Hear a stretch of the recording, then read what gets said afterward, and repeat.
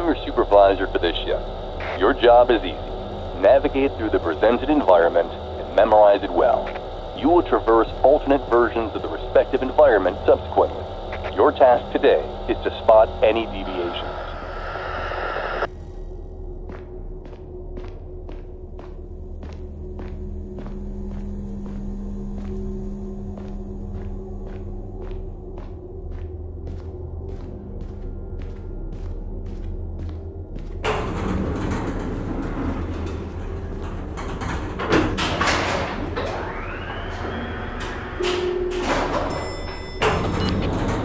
Confident that the environment contains an anomaly, use your device to report it. Pay close attention. An eye for detail is important, and that should cover everything. Have a nice shift.